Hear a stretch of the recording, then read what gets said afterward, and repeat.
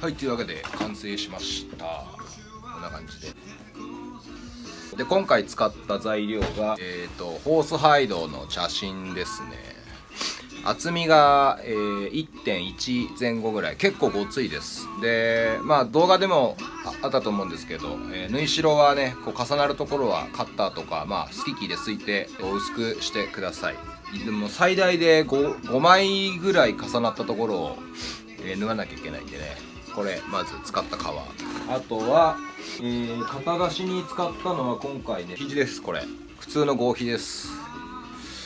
えーと、シンコールさんとかのやつね。切れっ端これ使って、まあ、パターン出し。で待ち針で留めてって、えー、使いましたけどまあ他の、えー、合皮でも大丈夫だと思います。であとねこの裏留めてるこのビス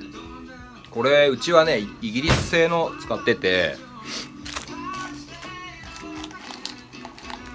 まずビスがこういう丸頭の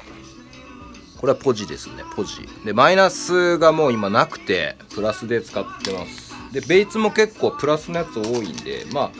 雰囲気的にはそんなねおかしくないかなと思いますね、うん、でワッシャーがこれねちょっと見づらいかな。これ打ち出しなんですよ。こうね。あの日本であるまあなんか似た形のロゼットワッシャーってやつはあれ削り出しでこれプレスで抜いてるやつなんでこっちの方がもう昔ながらの装飾ワッシャーでこれ見えてもいい一応ワッシャーとされてるやつで、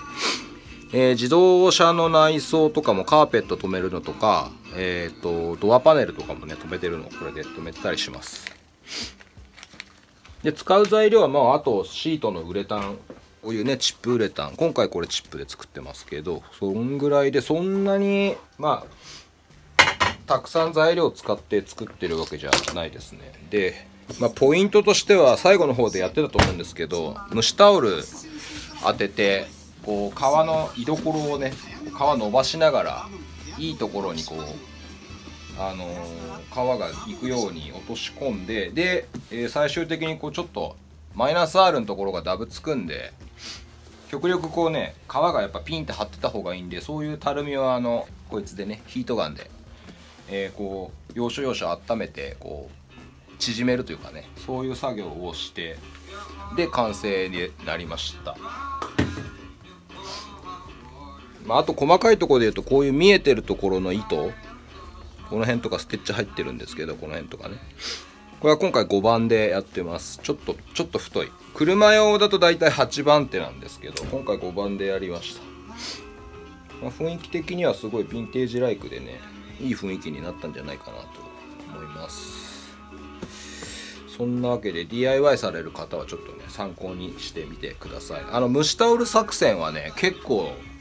えー、海外の内装屋さんなんかもやっててもう蒸しタオル10本ぐらい作ってこう車のシートにかけてたりとか結構するんで。で作り方はね至って簡単。あの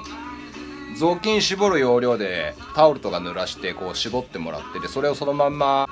電子レンジで23分、えー、ほかほかにしてください。そんでこう湯気立つぐらいにしたやつをバフッとかぶせると。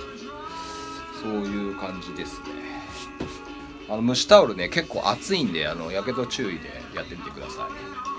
ではまた。